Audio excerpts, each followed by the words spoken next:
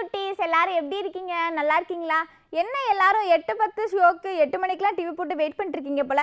Okay நாமளும் நானும் உங்களுக்கு வீடியோஸ் வந்து உங்களுக்கு கடகடன்னு சொல்லிடுறேன். என்ன நீங்களும் ஸ்கூல் போகணும் இல்லையா? நான் இப்போ ஷோக்கில் போகிறதுக்கு முன்னாடி நான் உங்ககிட்ட ஒரு கொஷின் கேட்க போகிறேன் என்ன கொஷின் அப்படின்னா இந்த கொஷினுக்கு ஆன்சர் பண்ணிங்க அப்படின்னா நம்ம ஷோலேருந்து எதுவும் தரமாட்டாங்க. இருந்தாலும் உங்களுக்கு ஆன்சர் தெரிஞ்சால் ஒரு நல்லது தானே? அதனால் இப்போ நான் ஒரு கொஷின் கேட்க போகிறேன் என்ன கொஷின் அப்படின்னா ஒரு கிணத்துக்குள்ளே வந்துட்டு பதினஞ்சு தவளை வந்து இருந்துச்சான் அதில் அஞ்சு தவளை செத்து போயிருச்சான் மிச்சம் அங்கே எவ்வளோ இருக்கும்?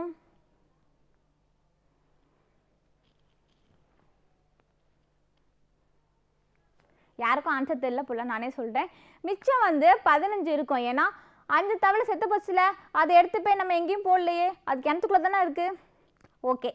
ஓகே இந்த மொக்க ஜோக்ஸை கேட்டு நீங்கள் பயங்கரமாக என்ஜாய் பண்ணிருப்பேன்னு நினைக்கிறேன். இப்போ நம்ம ஷோக்கில் போகலாம் வெல்கம் டு த ஷோ குட்டி பிசாசு.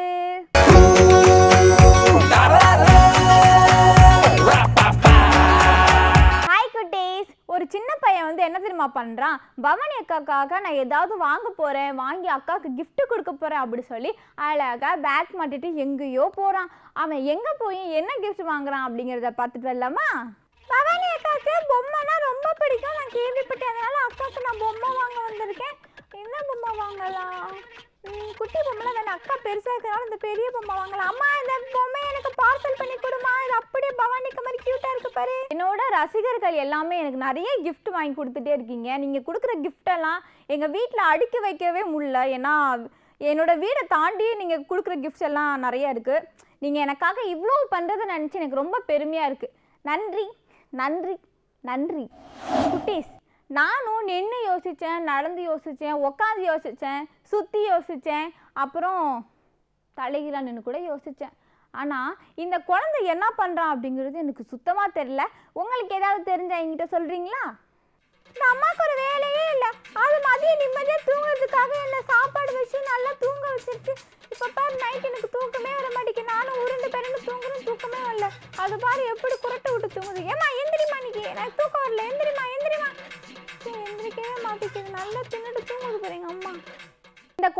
கஷ்டம் எனக்கு மட்டும்தான் புரியும். ஏன் தெரியுமா? நானும் இந்த மாதிரி தான் மதியம் எங்கள் அம்மா நல்லா சமைச்சாங்க அப்படி சொல்லிட்டு நல்லா மூக்கு முட்டை சாப்பிட்டுட்டு மதியம் தூங்கக்கூடாதுன்னு தான் நினைப்பேன். ஆனால் என்னையே அறியாமல் தூங்கிடுவேன். மதியம் தூங்கினா நைட்டெல்லாம் இப்போ தூக்கவே வரமாட்டேங்குது. நானும் கண்ட்ரோல் பண்ணிக்கிட்டே இருப்பேன். ஆனால் சாப்பிட்ட மயக்கத்தில் என்னையே அறியாமல் தூங்கிடுவேன். இப்படி தான் மதியம் தூங்கிட்டு நைட்டு உருண்டு பிறண்டு இருப்பேன். தூக்கம் வருது எப்போ வரும் எப்போ வரும்ன்ட்டு. என்னடா பவனி அக்கா க்யூட்டாக விளாட்றாங்கன்னு தானே பார்க்குறீங்க நான் பேசிக்கலி க்யூட்டு தான். ஆனால் என்னை விட ரொம்ப அழகாக க்யூட்டாக ரெண்டு குழந்தைங்க விளாட்றாங்க அதை நம்ம பார்த்துட்டு இருந்துடலாமா என்ன கண்டுபிடிடா? கண்டுபிடிச்சிட்டியா? சரி நீ இப்போ என்ன கண்டுபிடிச்சா வர கப்பை இந்த விளையாட்டு ஜாலியாக இருக்கு திரும்ப என்ன வந்து கண்டுபிடி ஓகேவா ஒன் டூ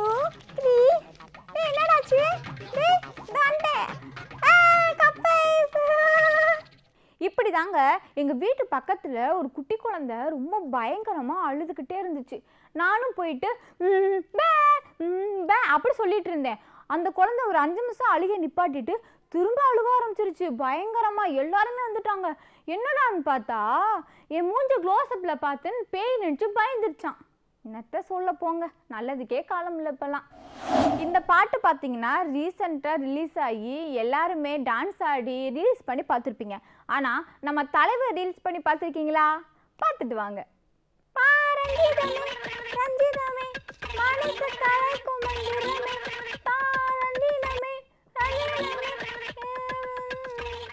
பார்த்தீங்களா நம்ம தலைவர் பயங்கரமாக டான்ஸ் ஆடி ரீல்ஸ் போட்டதை?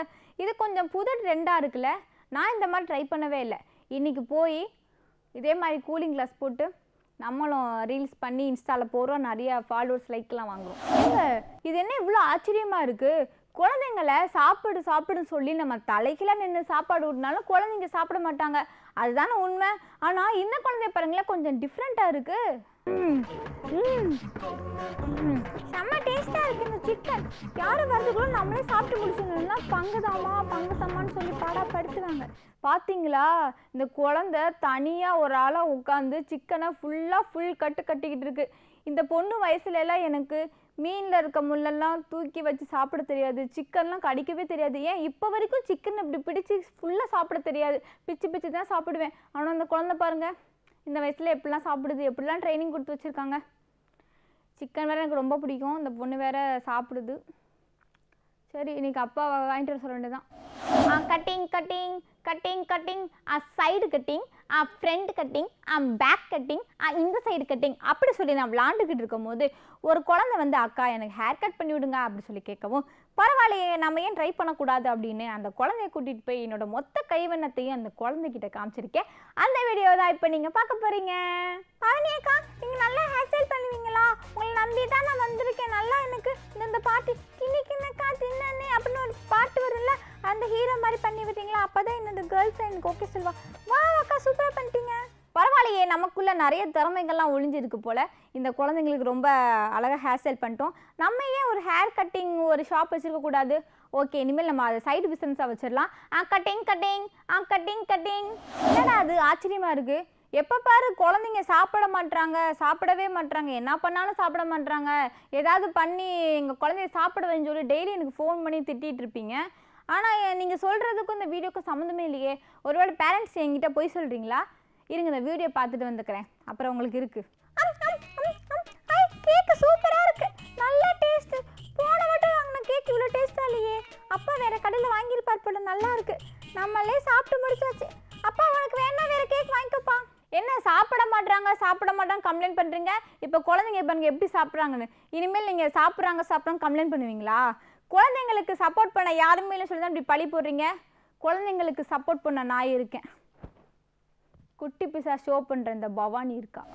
அடடடடடா இந்த நாய் பூனை பல்லி புலி இதெல்லாம் எனக்கு பிடிக்காதுன்னே தெரிஞ்சுக்கிட்டு வேணும்னே என்னை கடுப்பேற்றுறதுக்காக நீங்களாம் இந்த வீடியோ பண்ணுறீங்க பார்த்தீங்களா அதை தான் எனக்கு என்ன சொல்லனே தெரில நீங்களே பாருங்கள் அந்த வீடியோவை மணி மணி பிடிக்கவா?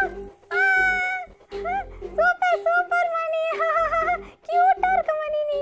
என்னதான் எனக்கு பிடிக்காததை நீங்க செய்றீங்க அப்படின்னு எனக்கு கோபம் வந்தாலும் அந்த நாய் உங்ககிட்ட எவ்வளோ அழகாக விளாடுது நீ அந்த நாய் கூட எவ்வளோ அழகாக விளையாடுறதுலாம் பார்க்கும்போது ரொம்ப சந்தோஷமாக தான் இருக்குது ஆனால் இந்த எண்ணத்தை வச்சுட்டுலாம் நான் வந்து நாய் வளர்ப்பேன் அப்படிங்கிறத மட்டும் தயவு செஞ்சு நினச்சிடாதீங்க. எனக்கு நாயினால் சுத்தமாக பிடிக்கவே பிடிக்காது.